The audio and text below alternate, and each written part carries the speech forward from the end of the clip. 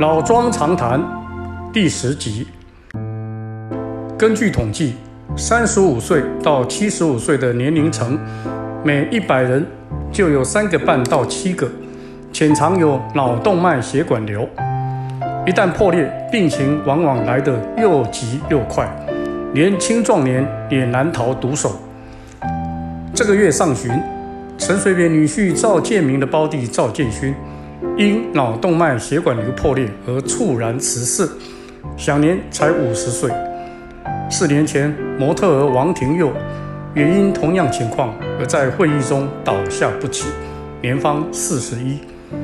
而知名主持人胡瓜和丽青、音乐人袁惟仁也都被检查出有脑血管瘤。脑动脉血管瘤没有征兆，很难察觉。直到它压迫神经，才会产生一些症状。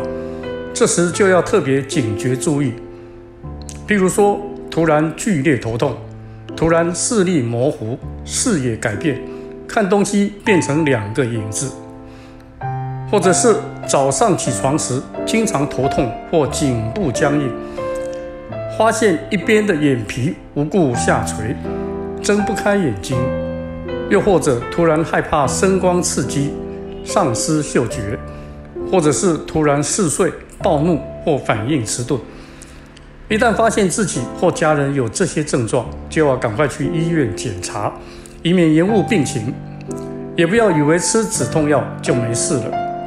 更重要的是，在日常生活要采取四大预防策略。首先是要戒烟，因为抽烟容易使血液凝结堆积，造成动脉硬化。其次要妥善控制血压，如果患有高血压，就要按时服药。生气、剧烈活动、吃的太辣，都容易造成血压瞬间剧烈波动，要避免。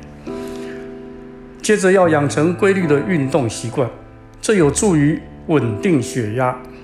如果去泡温泉，不要泡太热或是泡太久。